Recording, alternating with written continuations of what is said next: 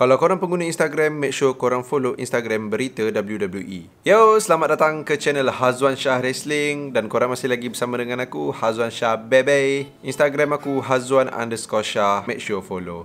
Korang yang masih lagi belum tekan butang subscribe, make sure korang tekan butang subscribe sekarang juga. Bila subscribers bertambah, motivation aku pun bertambah lah untuk buat konten dekat channel Hazwan Shah Wrestling. Aku pun pernah janji kalau dah capai 10,000 subscribers, aku akan buat Q&A dekat channel Hazwan Shah Wrestling ni. So hari ni aku nak cerita aku punya reaction bila si Empang buat comeback dekat WWE Backstage Fox Sports 1. Untuk korang yang tak tahu, si Empang dah pun kembali dengan WWE dekat WWE Backstage minggu lepas. Dia kembali mungkin sebagai analis ataupun panel lah.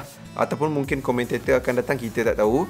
Dan uh, reaction aku untuk dia punya return tu sebenarnya tipu lah tak rindu. Confirm rindu. Lagi-lagi bila muzik dia keluar tu kan. Uh, aku dah tahu dulu orang dah cerita-cerita baru aku tahu kan. Baru aku tengok video dia balik. Tapi walaupun dah tahu dulu, lepas tu dengar muzik dia tu, still ada rasa macam wow, lama gila tak dengar uh, music tu dekat WWE kan. So it's a good feeling yang aku rasa tak puas hati sebenarnya aku lebih banyak tak puas hati lah dekat return dia. Tapi aku faham kenapa sebab si Empang dah kata kalau dia return mungkin dia return as commentator ke. Dan sekarang mungkin nampak macam dia ke arah analyst ataupun panel kan. Aku lebih tak okay sebab aku nak dia return as a wrestler. Semua orang tahu dia is one of the best wrestler in the world. Yes dia kata dia the best wrestler in the world. Seth Rollins boleh kata macam tu. Chris Jericho boleh kata macam tu. Kenny Omega boleh kata macam tu. So semua orang ada pendapat yang berbeza pun. Tapi aku tak nafikan dia is one of the best wrestler in the world. So aku yakin ramai gila nak tengok dia buat comeback atas gelanggang. So mungkin kita tak dapat tengok ataupun aku harap kita dapat tengok lah adalah Max Empang akan datang. Tapi katalah kalau ada uh, benda macam WWE backstage ni dah rosakkan sikit aku punya uh, hype kalau dia buat comeback nanti.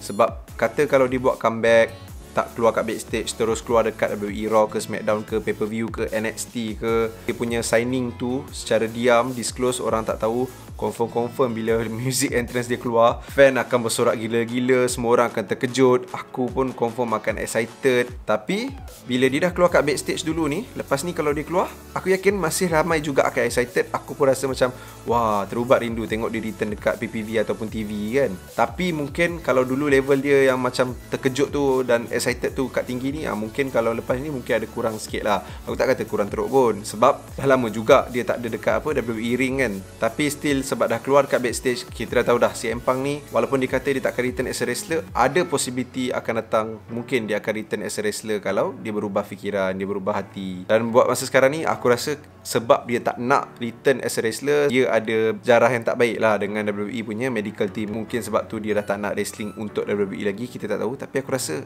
akan akan datang mungkin dia akan ubah fikiran lah. Dan aku nak tengok dia kembali atas gelanggang walaupun aku tahu yang bila entrance music lepas ni dah tak terlalu terkejut tapi still mungkin akan terkejut tapi dah tak terlalu wow gila-gila lah. Macam aku cakap tadi kalau dia orang sorok-sorok and then terus keluar kat PPV atau TV instead of backstage macam Raw, SmackDown, NXT mesti lagi best lah. So itu harapan aku sebenarnya kalau si Empang punya return. Pasal tu aku lebih kurang berkenan dengan return dia yang baru ni dekat backstage. Tapi still not bad dia return kat backstage. Aku harap dengan adanya si Empang dekat WWE backstage ni dia jadi analyst ataupun panel dia tak dihadkan dengan dia punya skrip kalau dia kena condemn WWE SmackDown biarkan dia condemn supaya Vince McMahon dengan creative team boleh book SmackDown ni dengan lebih baik especially SmackDown baru ni lah bapak boring gila weh so please si Empang change the culture and then make sure tekan WWE sampai diorang boleh hasilkan SmackDown yang baik cuba korang share kat ruangan komen kat bawah apa pula korang punya reaction bila si Empang buat comeback dekat WWE Backstage. Itu saja daripada aku. I'll see you again in the next video.